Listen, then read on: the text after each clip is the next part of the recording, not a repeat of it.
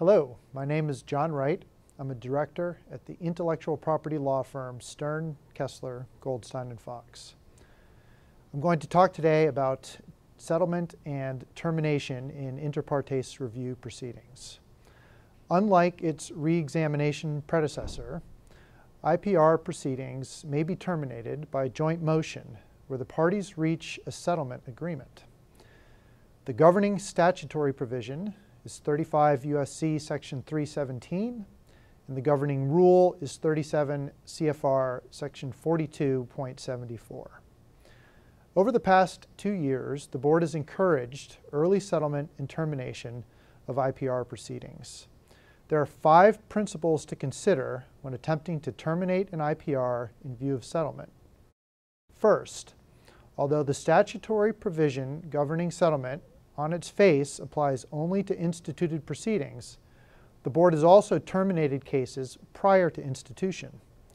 When it does so, it nonetheless follows Rule 74 and requires submission of any settlement agreement.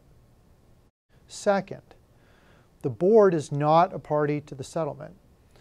While it has to terminate a proceeding with respect to a petitioner, it may continue a proceeding as to the patent owner at its discretion. Third, since the board is not a party, the timing of a settlement and joint motion to terminate is crucial.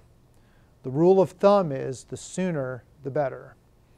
Parties have a good chance at full termination prior to completion of the substantive record. But once the petitioner has submitted its reply, then all bets are off. There is at least one case where the parties secured full termination on the eve of oral hearing, that case is IPR 2012 TAC 00033. But that's not the norm. For a case that the board continued against the patent owner, see IPR 2013 TAC 00016 and 00036. The fourth principle is that the board will always require submission of the full and unredacted settlement agreement and any collateral agreements even when the proceeding is in the pre-institution phase. But upon request, the board will treat the agreement as business confidential information and keep it separate from the file. Some parties have expressed concern that settlement agreements may be available to another government agency or upon a showing of good cause to a third party.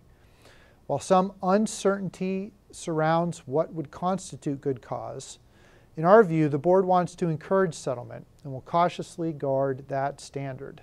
The fifth principle is that the board will consider the overall procedural posture of any case prior to termination. It invariably asks that the motion include the status of all related co-pending proceedings, including whether there are multiple defendants in any co-pending civil action or co-pending inter partes reviews that have motions to join. The more fully an agreement resolves the underlying dispute, the more likely it will lead to full termination.